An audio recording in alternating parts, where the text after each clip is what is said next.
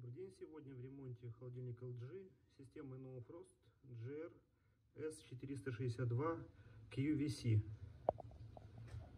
В холодильной камере у нас находится 5 лампочек. В нижней части у нас находится вентилятор.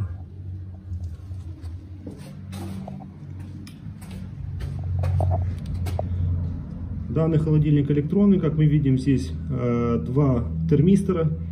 Один находится в холодильной камере, другой в морозильнике. Вот, собственно говоря, его схема. Так, давайте теперь посмотрим, что здесь произошло.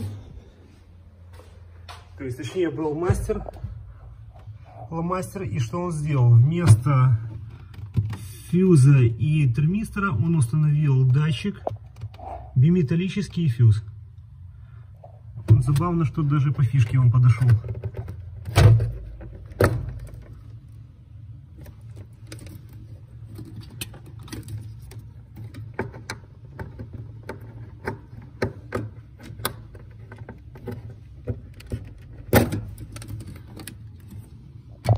То есть данный датчик здесь нельзя никак использовать. Здесь стоит совершенно другой датчик.